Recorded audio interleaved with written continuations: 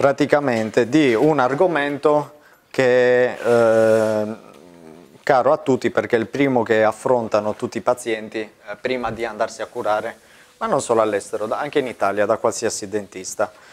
Eh, la prima cosa che si fa quando si ha un problema e si scopre di avere un problema, o, o almeno si pensa di avere un problema, è fare una visita da un dentista da uno specialista, oppure la stessa cosa è l'automobile, quando magari c'hai un guasto all'automobile, che cerchi di capire se innanzitutto c'è qualcosa che non va, e poi che cosa è che non va. Dopodiché la fase successiva qual è? Andare a capire quanto spendi per risolverlo se c'è il problema.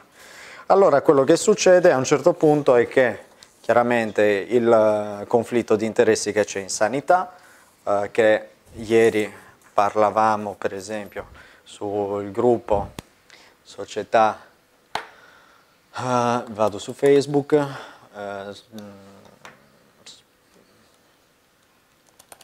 ok, è proprio il fatto se il dentista debba essere o meno pagato dal malato, oppure se dove, debba essere pagato piuttosto dalla, dallo Stato. Okay? Nella Cina era così, si pagava il dottore per stare bene non si paga al dottore eh, se si sta male. O meglio, e poi la domanda è chi paga il dottore? Lo Stato o il malato deve pagarlo?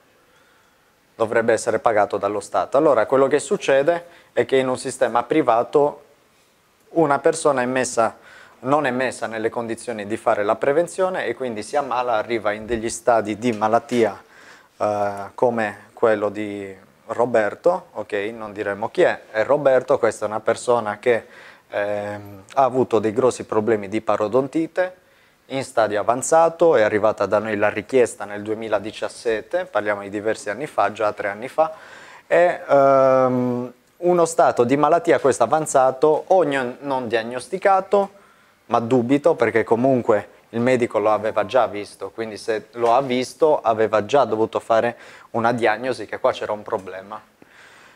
La cura che è stata fatta era una cura non risolutiva, ma un tamponare, perché è stata messa cosa? Una protesi in resina ancorata qua su dei binari su una protesi fissa, ovvero un classico ponte che regge uno scheletrato, una protesi che si mette e si toglie.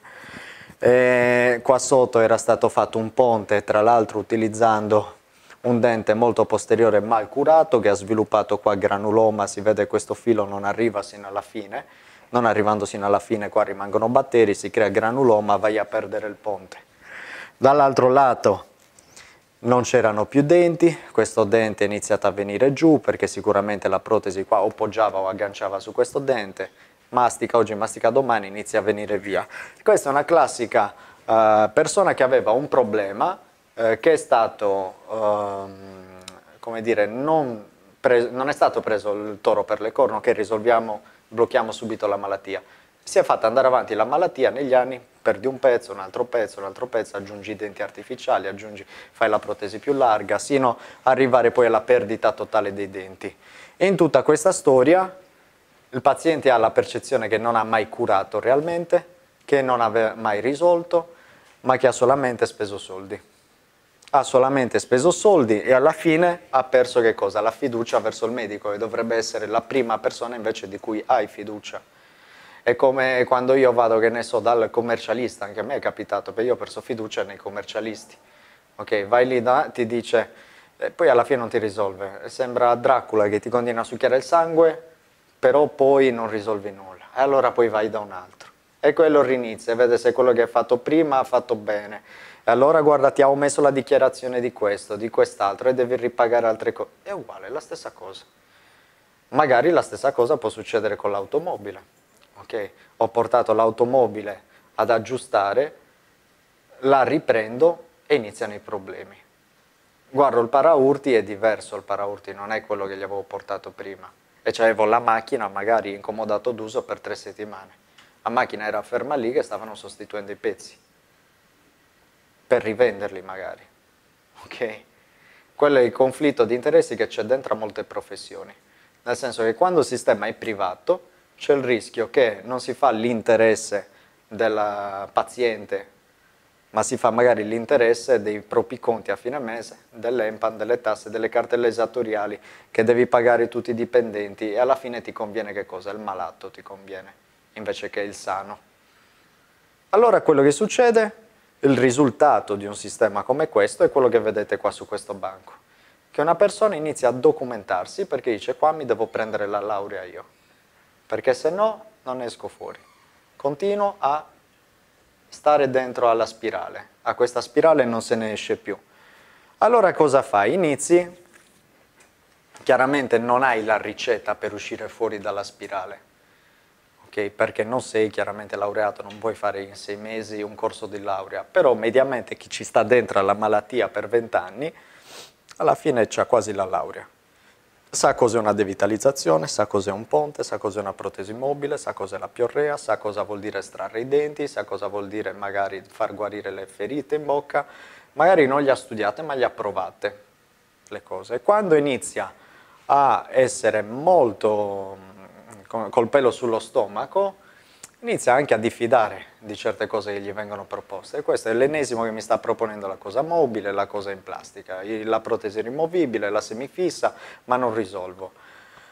Allora inizia che cosa in maniera, uh, può prendere due strade. La prima strada, senti non voglio sapere nulla, vado in stand by modalità risparmio energetico, di lui mi fido, mi risolverà il problema. Ok, capita spesso questo.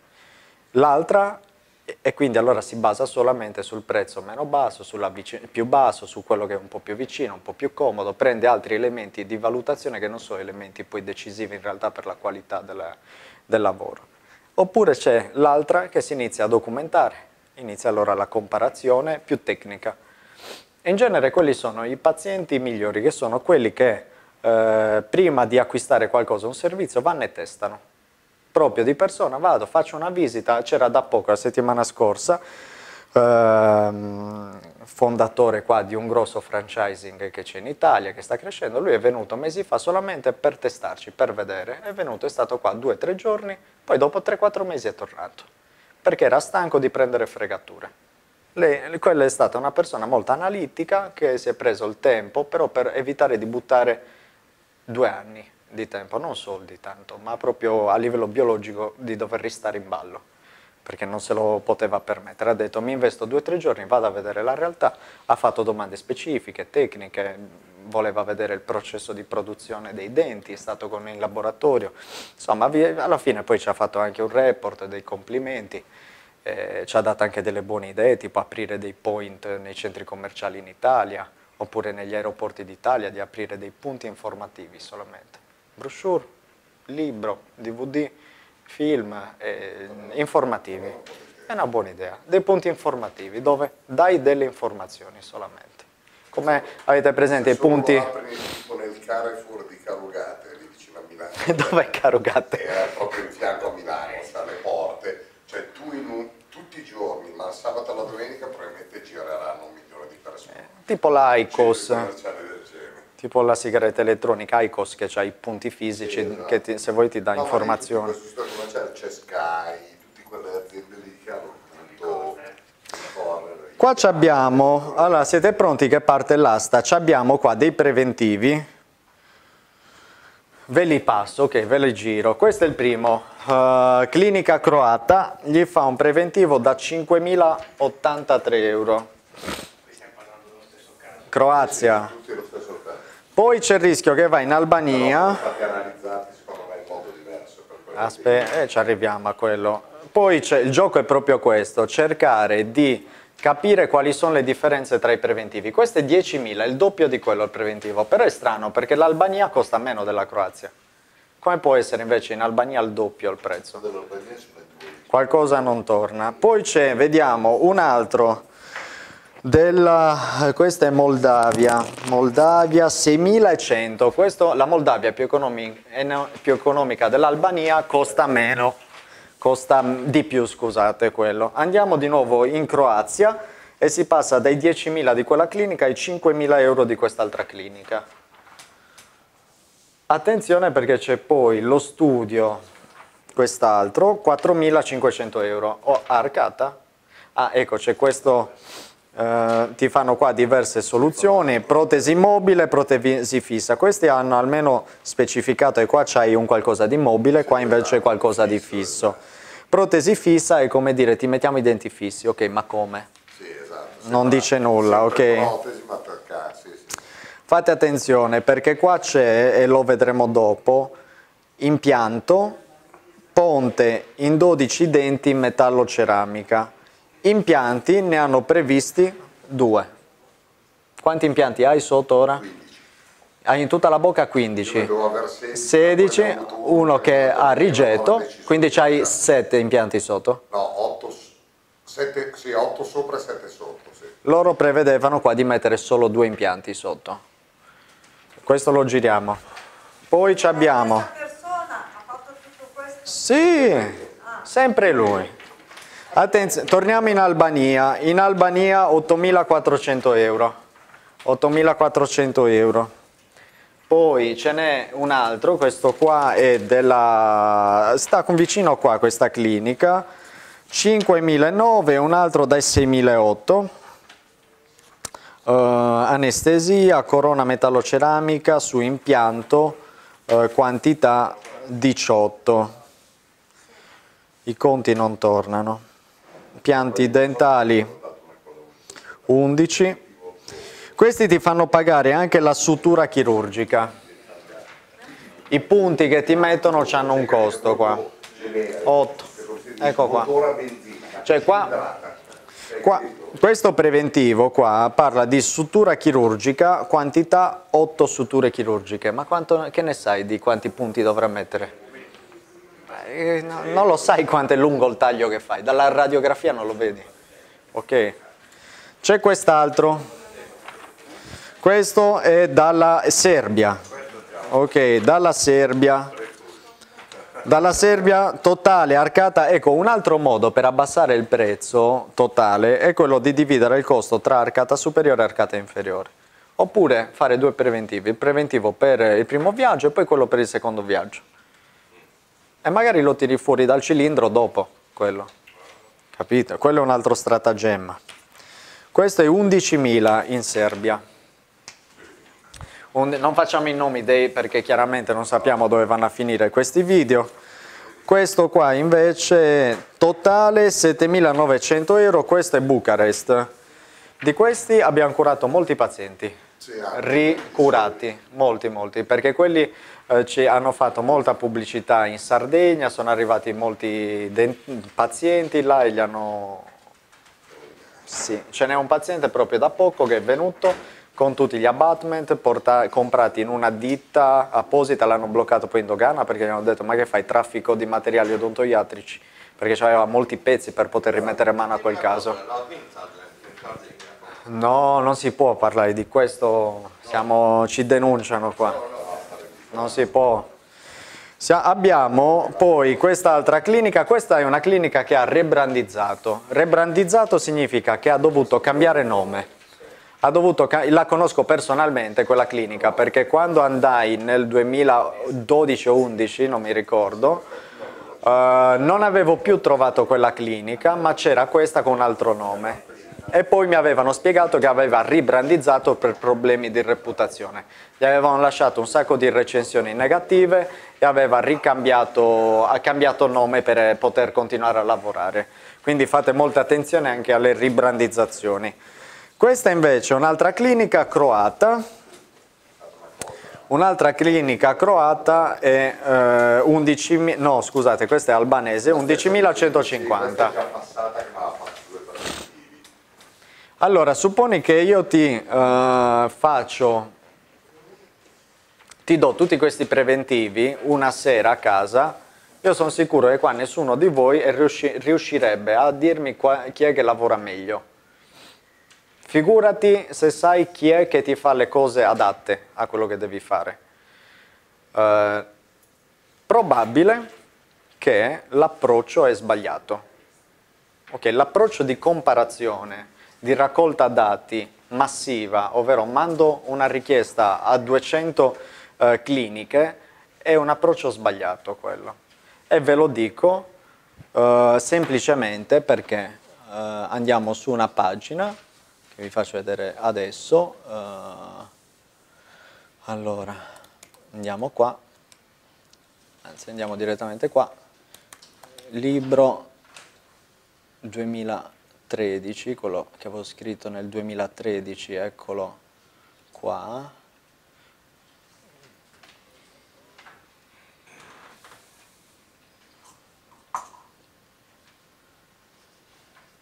Ok. Andiamo sugli allegati.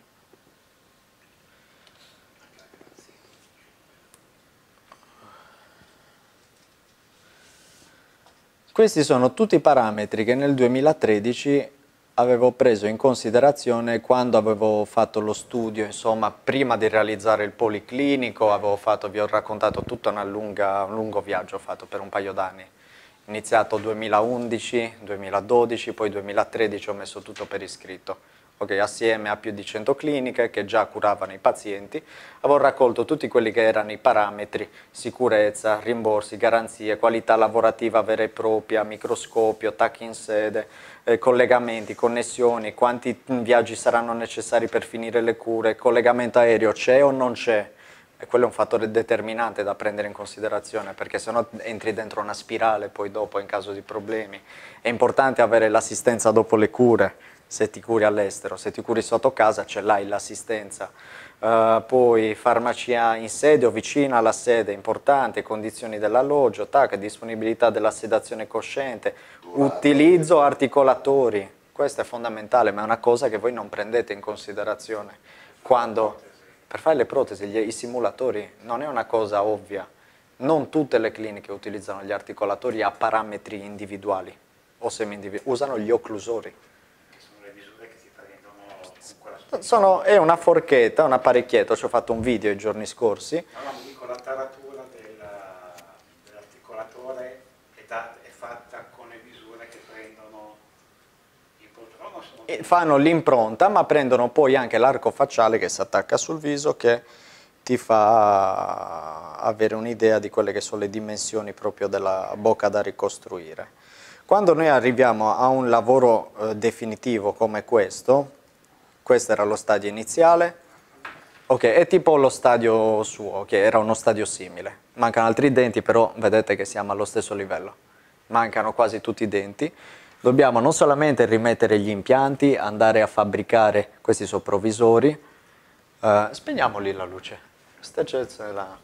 Questa, so, questa è la parrucca, abbiamo fatto prima di mettere i definitivi, prima una parrucca, facciamo un test, vedete che questi sono dei denti stampati, qua si vedono i segni della stampa, strato dopo strato, ma andiamo soprattutto a simulare quelli che sono i movimenti prima di andare con i definitivi. Poi si parte con la produzione della linea definitiva e la linea definitiva, questa è la linea superior, concettualmente ce l'avete lì sul tavolo, quella, quel modellino là lo potete passare, questa qua è la linea superior, questo è il concept uno dei primi, primi concept che abbiamo fatto quando stavo studiando proprio come fare la linea superior con gli odontotecnici è uh, c'è all'interno la barra di rinforzo, la struttura in pecton uh, esterna e poi la zirconia sopra, queste sono in, invece corone in resina perché sono uh, i test per vedere come va in bocca, poi se quelle vanno bene le fresiamo in zirconio.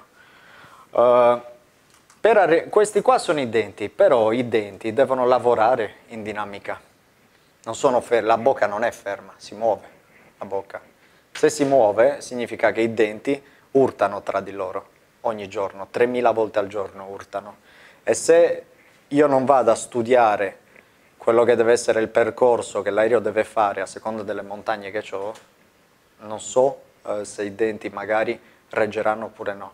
E quelli sono problemi dovuti all'articolazione. L'articolazione della dentatura che viene in laboratorio simulata con gli articolatori.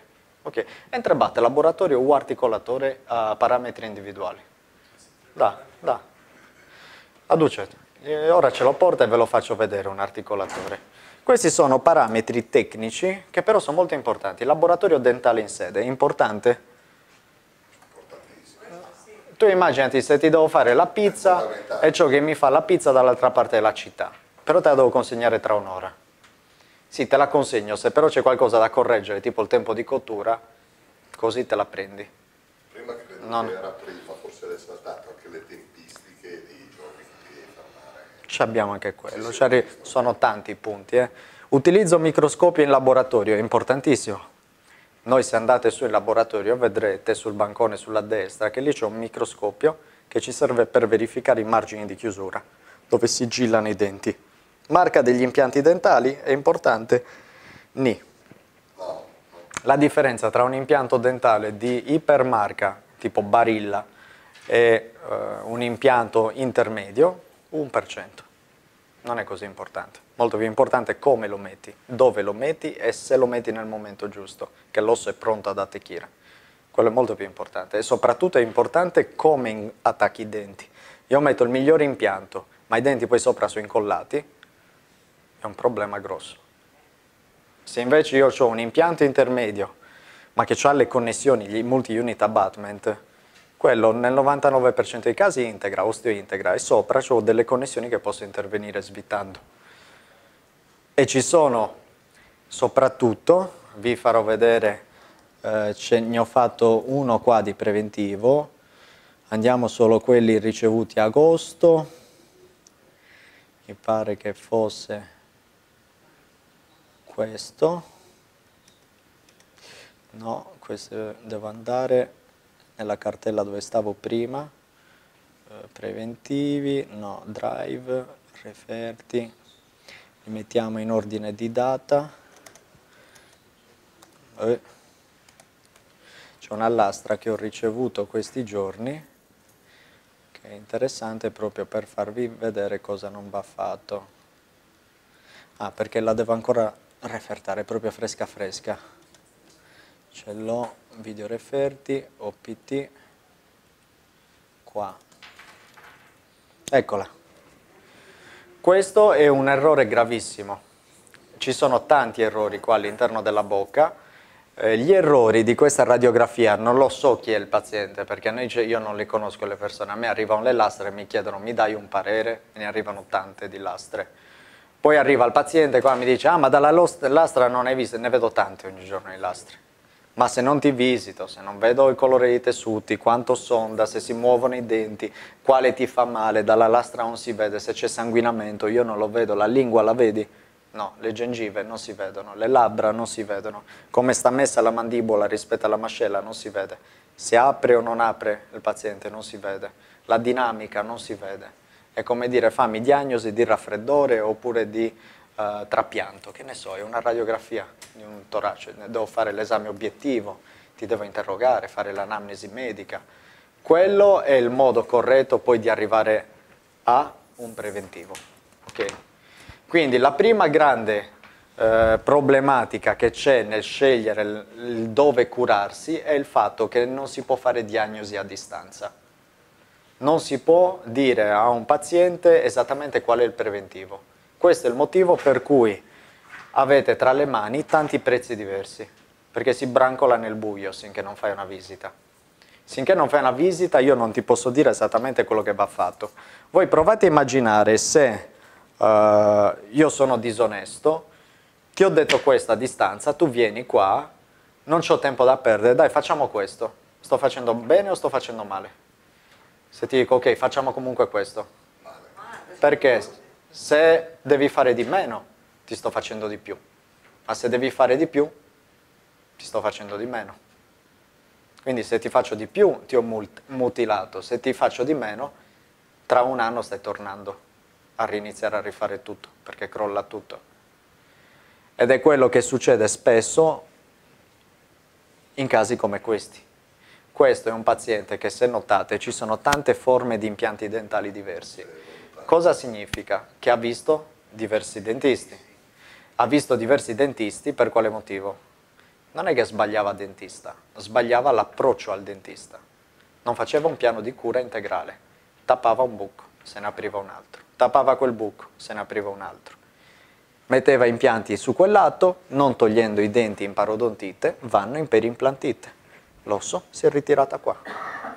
L'osso si è ritirato per quale motivo? Perché c'aveva la piorrea, ok l'osso è finito qua perché c'aveva la piorrea non curata oppure perché gli sono stati messi gli impianti con la piorrea? Cambia la domanda, eh? Perché gli sono stati messi gli impianti con la piorrea? Oppure perché non ha voluto mettere gli impianti quando dovevano essere messi? Oppure non ha voluto togliere i denti, ha voluto mantenerli con la piorrea? Possono essere diverse. le- la- secondo me la causa non è neanche questa, ma ve l'ho detto all'inizio della lezione, che è a pagamento, il dentista. Se a pagamento fai quello che riesci a fare. Cliente Ho fatto le cure Brava. urgenti. conflitto di interesse. Se uno ti cura in maniera parziale, sta facendo bene o sta facendo male quel medico? Ti sta fregando i soldi. Ma non te li sta fregando il medico, la metà te li sta fregando lo Stato di nuovo. Ok, Torniamo a bomba, lì chi è che te li deve dare i soldi se tu sei medico? Lo Stato. tutta la notte a leggere i libri. Lì, sapevo. Ieri notte io alle due pensavo che tu l'avresti letto, per quello che te ne sei andato ieri. Fatto bene. Io di queste cose parlo sul libro. La domanda che c'è nel libro è il dentista europeo gratuito. Ecco come dovrebbe essere. Posso fare un intervento visto Sì. che mi ha tirato fuori il libro? La cosa che mi ha, parte tutto il libro, ma che mi ha entusiasmato di più perché ho toccato con mano. A marzo, quando ero qua, in aereo, ho in fianco due ragazzi, due giovanotti, 19 e 20 anni. Mhm. A parlare di dove sei, di tutta, uno era pugliese, l'altro non mi ricordo. Ah, dico, come me siete? E dice, siamo a Cluj, in Romania. Dico, cosa fate? E dice, studiamo perché Odontoiatria. papà è dentista in Puglia e dice, e allora mi sono collegato alla tua cosa, che tu praticamente sul libro dici che il dottore italiano ti dice, ma come fai a andare a curarti? Ma quelli sono bestie, dici, usano materiali schifosissimi. Poi però manda il figlio qua a studiare, il quale ti curerà in Italia con la laurea rumena, albanese o quello che è. La verità è che eh, lì la ragione non ce l'ha chi ti dice che ti fa il cartello protezionismo e terrorismo, perché medico sardo o lombardo non c'è differenza, o londinese No, o newyorkese. L'italiano si dice che Sì, quello che è cartello quello. Quello è cartello perché non puoi dire questo. Se tu ti leggi... C'è il codice deontologico, ok, medico, dove il eh, medico, per esempio, non ti può negare le cure. Avete mai sentito dire se ti curi all'estero non metteranno mai le mani sulla tua bocca? Quello è omissione di soccorso. Dovrei levarti la licenza medica.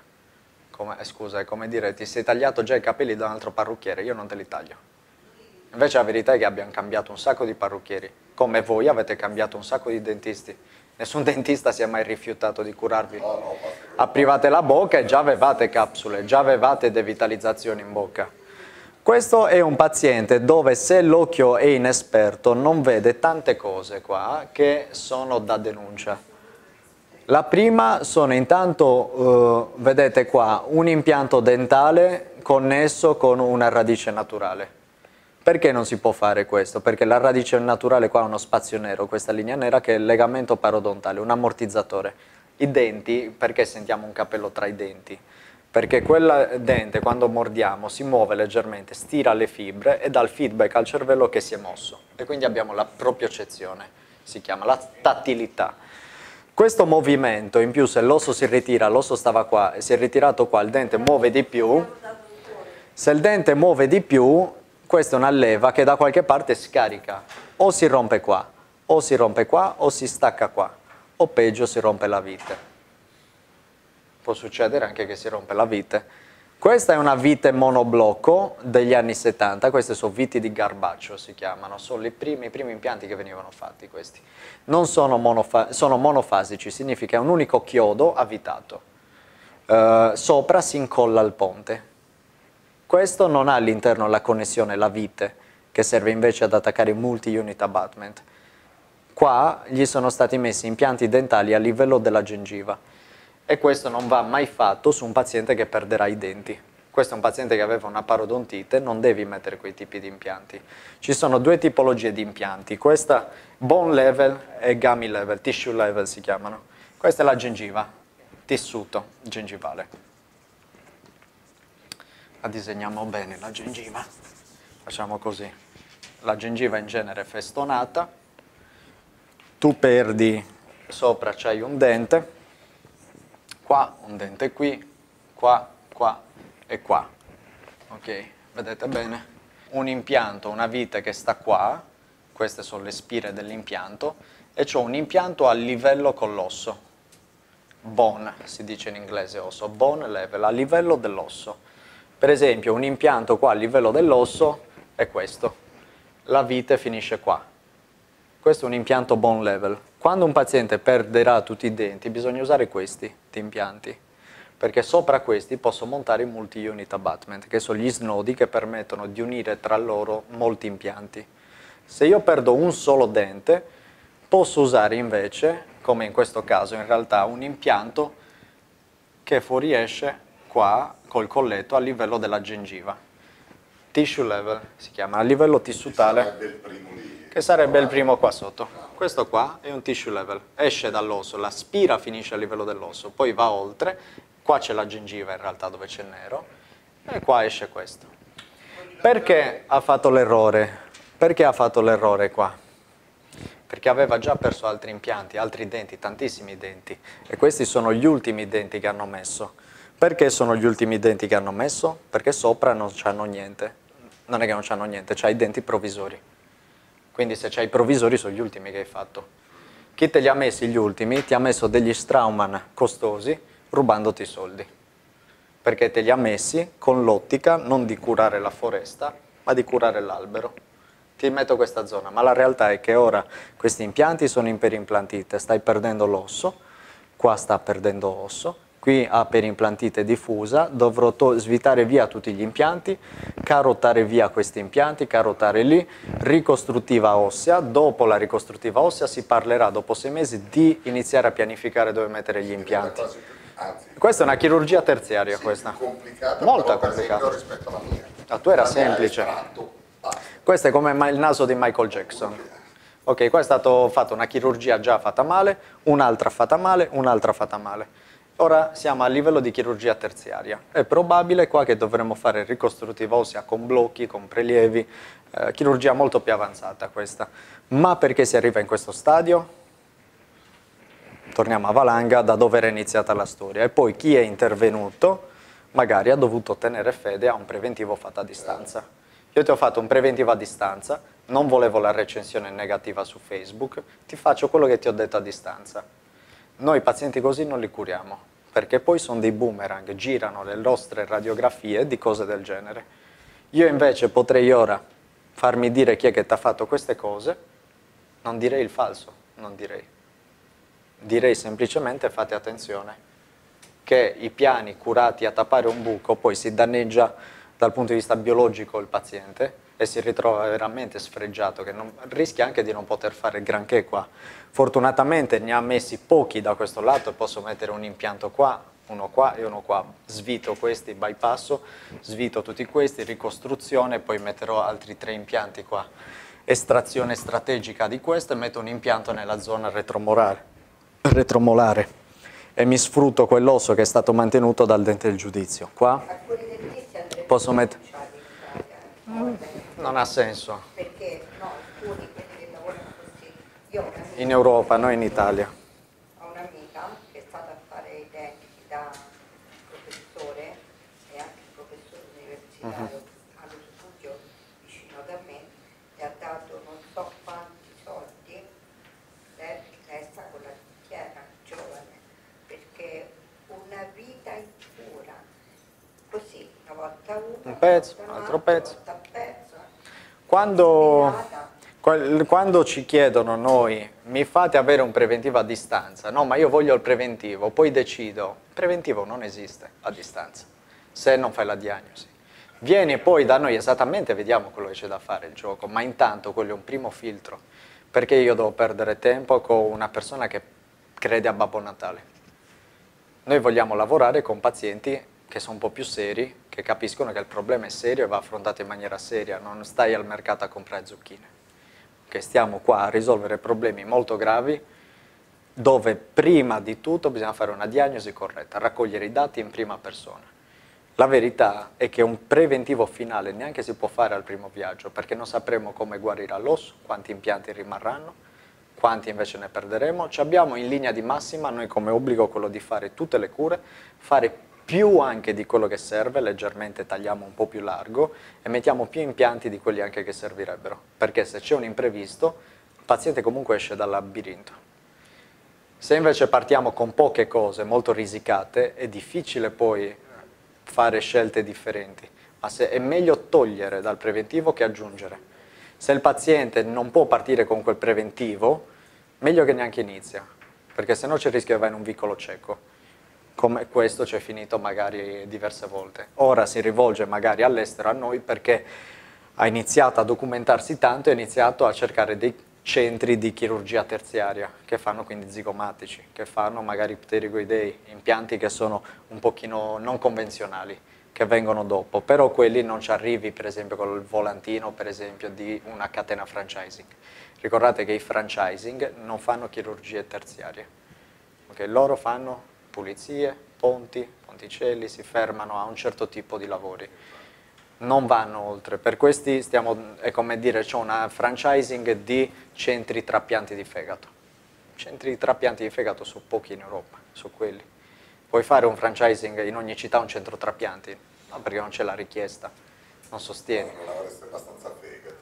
Eh, non ci sarebbe la richiesta la, del, del servizio, c'è più richiesta della pulizia dei denti della capsula, della devitalizzazione, ticket medio di un franchising famoso è 2.600 euro, era nel 2012 2.600-2.700 in Italia. Cosa è 2.600-2.700 euro in Italia? Un ponte di tre denti, 4. Quello ti dice qual è il ticket, il, la tipologia media che fanno di trattamento. Un trattamento di questo tipo in Italia sono 50.000. Non esiste un franchising che ha un ticket medio di 50.000 ok? Noi siamo un tipo di struttura che ha quel ticket medio, ma perché siamo una struttura specialistica, che facciamo solo questi tipi ricostruttive. Ma per questi tipi ricostruttive ci sono alcune strutture che non sono attrezzate, perché per questi tipi di ricostruttive arrivare magari a quel lavoro là che avete la linea superior Serve innanzitutto una diagnosi seria, corretta, poi servono attrezzature, laboratorio e in più fatti all'estero servono tutti questi parametri che per anni avevo raccolto. Okay? Noi perché abbiamo avuto successo? Perché non c'era stato nessuno che avesse fatto una raccolta esatta di quello che bisognava fare. Io ho fatto semplicemente anni fa la ricerca eh, di mercato più estesa che fosse mai stata fatta sulle cure odontoiatriche all'estero. Come vanno fatte? Come si evitano i problemi? Devi fare questo, devi avere questo, devi avere il laboratorio, devi avere centri assistenza, devi essere monofocalizzato, non puoi fare minestre, pesce e carne. Devi scegliere un tipo di trattamento e fare solo quello. Non posso fare ortodonzia, ponti, devitalizzazioni, quello, quello, quell'altro. Fai quello e lo fai No. Lavorare in cluster, un'altra cosa di cui parliamo sempre, lavoriamo in cluster maxillofacciale tutto il giorno, non fa protesista di mattina a sera maxillofacciale, suddivisione dei ruoli. Una cosa, dalla mattina a sera, quando tu fai una cosa ti iperspecializzi in quello e hai un team che riesce a fare che cosa la Ferrari. Una persona da sola, io non riuscirei a fare la linea superior o a finire un caso, come invece lo riesce a finire un team di 6-10 persone. In realtà ognuno di voi ha un progetto dove sono entrate almeno 12 persone dentro per finirlo. Dai almeno 3-4 tecnici di laboratorio, almeno 2 eh, tra chirurghi protesisti e magari anche generalista, più c'è l'aspetto logistico di preparazione, ci sarà l'aftercare. E più c'è anche tutta l'informazione prima, il primo contatto, poi c'è il contatto dopo, poi dopo c'è il rientro, la ripianificazione del rientro e andare a iniziare a lavorare sui lavori successivi definitivi, che non è lo stesso laboratorio che fai provvisori. Uh, suddivisione dei, dei, compiti, mai un lavoro di squadra. Il, è come dire che la, la, la, Ferrari, ripeto, è stata fatta da un, un team. Ci arrivi poi con anni di investimenti a creare che cosa? Un motore la linea superior a cui siamo arrivati noi è il frutto di tutti questi anni di investimenti. Tutti questi anni di investimenti, ricerca e sviluppo alla fine hanno culminato in quello. Linea superior poi è il nostro vantaggio competitivo che non diamo a nessuno. Noi in Moldavia linea superior non la facciamo per nessuno, la facciamo per noi. È un'acquisizione di know-how che è come il segreto della Ferrari al Gran Premio, è che te la vendo per 1000 euro, anni di investimenti, è una cosa che solo noi riusciamo a fare quella, e neanche ognuno di noi riesce a farla da solo, riusciamo a farla solo qua in Moldavia e questo team riusciamo a farla, perché serve la telemedicina, serve la progettazione, serve la produzione, serve la diagnostica, serve la programmazione chirurgica e poi alla fine il dottore che rileva in un certo modo le, eh, i parametri dal paziente, li trasmette al laboratorio. E serve farne diverse, prima averne fatte tante, per vedere come, cosa funziona e cosa non funziona. Devo fare i controlli dopo le cure, dove posso risolvere i problemi, uh, personale parla italiano, è importante. Immaginati se arrivi e parliamo in tutti in moldavo. Cosa ha detto? Togli. No, ha detto tieni, togli. Oppure, grandezza dello studio è importante. Ni. Ni nel senso che se ci sono i numeri eh, rispettati di figure essenziali, puoi anche essere essenziale. La verità è che se tu inizi a avere, in realtà il numero dello studio dipende dal numero dei pazienti, ok? Possono essere tanti o pochi, dipende da quanti pazienti hai da produrre. Okay? Se, se c'è un bilanciamento, è più importante il bilanciamento, non la dimensione. Uh, fornitura telefono gratuito, cellu cellulare locale, era importante, assistenza telefonica, è importante questo. Okay? Gli anni di attività non può essere aperto da un anno, perché non puoi avere accumulato tanta esperienza in riabilitazioni uh, estreme come queste. Queste ci siamo arrivati dopo anni a fare questo e ora ci fanno i complimenti. Anche qua ci fanno i complimenti. Ok? E iniziamo a fare ora divulgazione, a cambiare il modo di pensare anche dalle persone eh, Landi, noi curiamo una malattia che è sociale, non vedo perché al pari delle altre non dovrebbe essere lo Stato a fornire le cure. Iniziano a parlare la mia lingua, okay, li stiamo contagiando. Così che inizia la rivoluzione, quando anche loro iniziano a ragionare così. E noi stiamo andando a battere laddove vengono fatte in Italia le protesi tipo le nostre, i lavori questi grossi, ci sono dentro tutti. Ok, e lì iniziamo a influenzare iniziamo a influenzare a... il costo dei materiali è uguale, dove risparmi, in affitti, mobili, stipendi, contributi, tasse, si gioca lo stesso gioco a due regole diverse. Il problema non sono i dentisti italiani, è lo Stato. Chi vuole lavorare bene se deve andare. Ti distruggono. E alla fine c'è chi fa la lavatrice che sopravvive, perché fa riciclaggio. Quello sta lì per riciclare, non perché fa, eh, come si dice, eh, ricavi. Se a all you can eat, ti faccio un esempio. Io ho conosciuto un amico che forniva gli all you can eat, che vendevano il pesce in nero agli all you can eat. Perché non lo vende all'altro? Perché quello glielo paga black. Prima lo vendate il pesce fresco, di contro mangi il pesce fresco lì piuttosto che da altre parti, perché quello ha la convenienza a pagarglielo in quel modo. Poi che cosa fa? Batte scontrino a parità di costo, ma intanto ha lavato.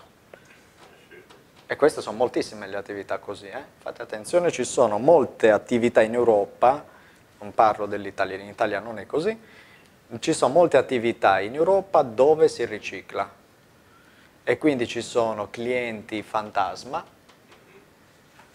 dove i soldi sono entrati, sono stati depositati, ma in realtà il, paziente, il cliente non esiste. E poi quelli vanno in Lussemburgo ma da dov'è che arrivano a Lussemburgo? Attraverso una... Queste attività in un paese marcio sopravvivono. Chi invece voleva fare le cose per quello che ha studiato, che è l'eccellenza, che gli... se ne va a Dubai a fare lo chef. Non faccio l'olio che eat, non mi interessa fare l'olio che eat, perché lui vince sempre, perché? Perché lui fa, è una lavatrice, vincerà sempre. Vincerà. Rispetto a te che vuoi fare il ristorante d'alta classe, perché a te le materie prime poi il, il, il, primo non te le dà perché le dà a lui, che lui gliele paga a black e tu gli chiedi la fattura, così che funziona.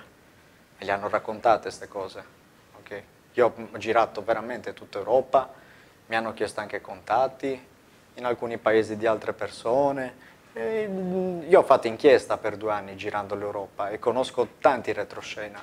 E alla fine ti posso dire che in alcuni paesi il sistema è marcio, dove alla fine è una terra dei fuochi tutta, è una terra dei fuochi, a livello di quello che mangi, a livello di plastiche, residui di oli, carburanti dentro all'olio d'oliva, okay? c'è di tutto, perché chi deve controllare non controlla, in tasca alla fine è tutto un tumore, è tutto un carcinoma, ma tutti si ammalano perché non c'è...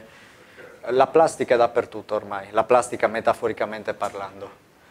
E allora cosa succede? Che chi vincerà in tutto questo se la mafia in realtà è un modo di pensare? Devi lottare contro il modo di pensare, quindi cambiare il mindset delle persone, da lì che è nata la divulgazione del film, del libro, cambiare il modo di pensare, come dovrebbe essere. Okay? Eliminare il conflitto di interessi, fare la patente a punti, nel senso delinqui, fai piani di cura errati, ti tolgo un punto, cinque punti, ti tolgo la licenza, non puoi più operare come dovrebbe essere, ma ci dovrebbero essere dei quality center, dei centri che controllano la qualità dei trattamenti che vengono eseguiti. Non ci sono perché sono organi politici piuttosto, non sono organi di controllo della qualità dei trattamenti sui malati. Se io faccio per esempio in un paese immaginario un ordine dei medici, devo tutelare chi? I medici o i malati? No, nel mio paese immaginario devo tutelare i malati. Quindi per me dovrebbe essere priorità che mi sveglio domattina, devo fare il quality center. La prima, prima cosa che faccio. Ok, perché non può andare magari, se voglio tutelare i medici, che qualcuno dice che i miei medici non sono bravi. Allora, i miei medici fanno gli interessi dei malati, li controlliamo, anche li verifichiamo. Eh, non può essere invece stare lì a guardare a chi fa la pubblicità del prezzo oh, ti sanziono perché hai fatto la pubblicità, ma sanzionami chi fa i trattamenti sbagliati. Li stai controllando? No, stiamo perdendo tempo a controllare chi fa il cartellone stradale. Quando invece non si fa un'opera di controllo gratuito su tutti i bambini che sono all'elementare, insegnare loro la prevenzione e pagare i medici per fare la prevenzione e non arrivare a stadi terminali come questi. Questo è uno stadio terminale, è un, un ritrapianto questo di un trapianto andato a male. Allora, e torniamo, e torniamo lì al, ai profughi. Ok, profughi, convengono averli o non conviene averli? Non l'Italia. Il malato conviene o il malato non conviene? La sanità è la seconda industria del paese, dopo la, e se tu fai mafia più sanità, cos'hai? Mega business. Perché i soldi scompaiono dalla sanità? Perché quella è la prima fonte dove attinge. Perché andare a bussare tante porte? Entriamo in politica, distribuiamo, distribuiamo i budget e poi da lì li facciamo sparire. Servizio c'è, poco, quello che serve, però se una bacinella butti acqua dentro ma è sempre vuota sta bacinella. Ma se dovremmo fare una pulizia dei no? Fai? Fuori topic, ne parleremo un altro giorno. Ah. Ci sarà un pacco, eh, ci sarà che stiamo già organizzando, dove ci sarà praticamente il kit, idropulsore, scovolini, il libretto sull'igiene e ci saranno anche i controlli da fare semestrali e il pacco in abbonamento annuale per fare l'igiene. Ok, ci avremo i colleghi che in quelle città vi fanno la pulizia professionale, con degli strumenti appositi che vibrano, con una testina gommata che vanno a lucidare tutte le protesi. A novembre più stiamo anche andando a fare dei corsi a Lisbona proprio su questo.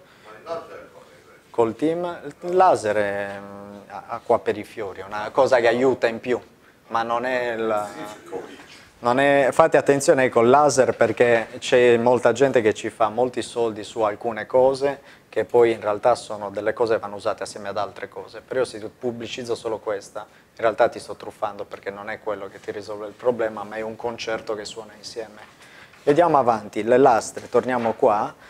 Uh, quindi tornando a questo, io cose che avevo fatto?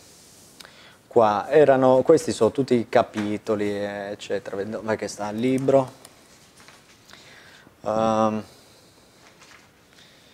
indice, libro, eccolo qua, mi sa che è proprio questo.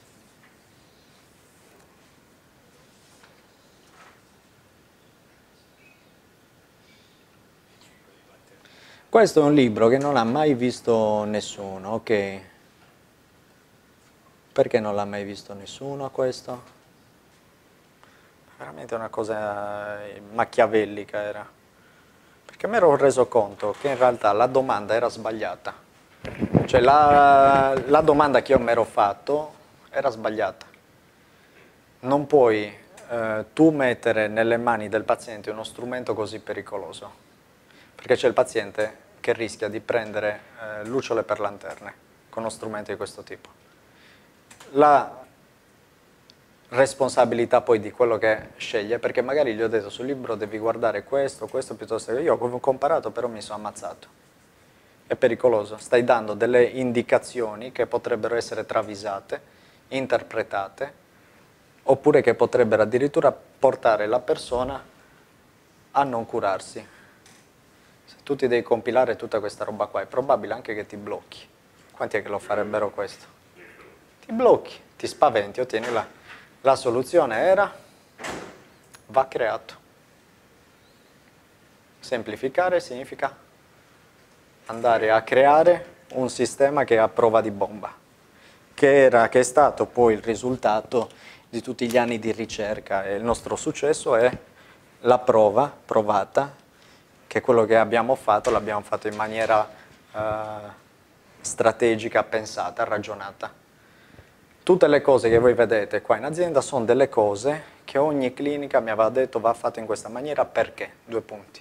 Questo, questo, questo, succederà questo, questo, questo, questo e quest'altro. Loro ci avevano dato la ricetta esatta su come vanno fatte le cose.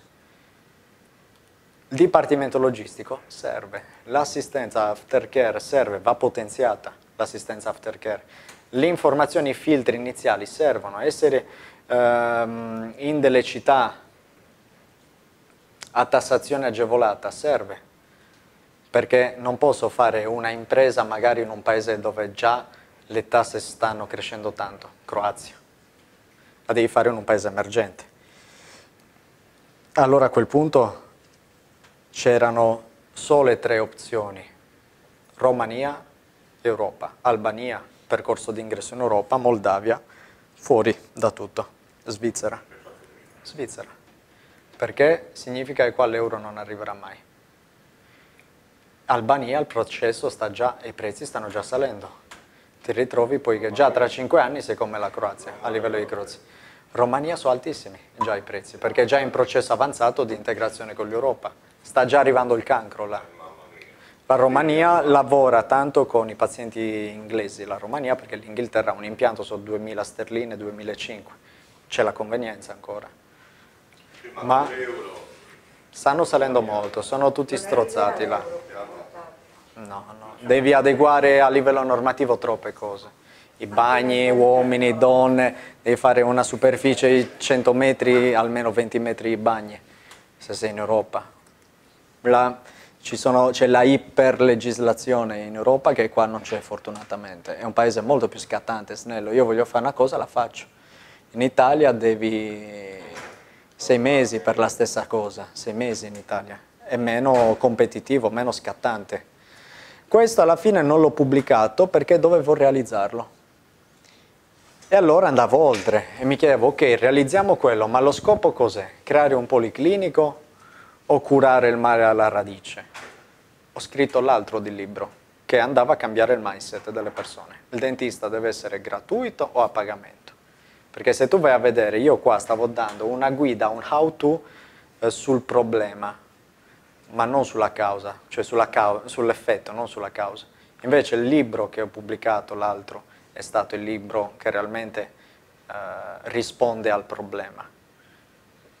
Io tutti gli studi che ho fatto, tutti i giri che ho fatto, tutti i viaggi che ho fatto, ho ragione e pensavo, sono stati i viaggi più belli della mia vita perché li ho fatti in solitario, da solo, autofinanziamento completo, ho conosciuto un sacco di persone, 3.000 euro sono partito dalle, dalla Sardegna, e, tra l'altro un dentista neanche mi aveva più pagato lì, ha detto tieniteli quelli, dalli tutti all'Empam.